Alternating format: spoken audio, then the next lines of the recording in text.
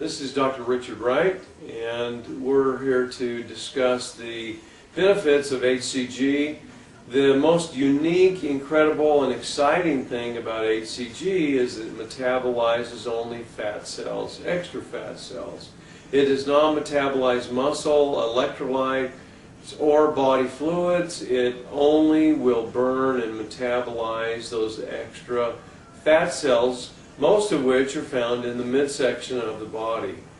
No other weight loss modality, treatment, or methodology will target those extra fats found in the hip, thigh, buttocks, and abdominal area like HCG. That's probably the very most exciting thing about HCG program.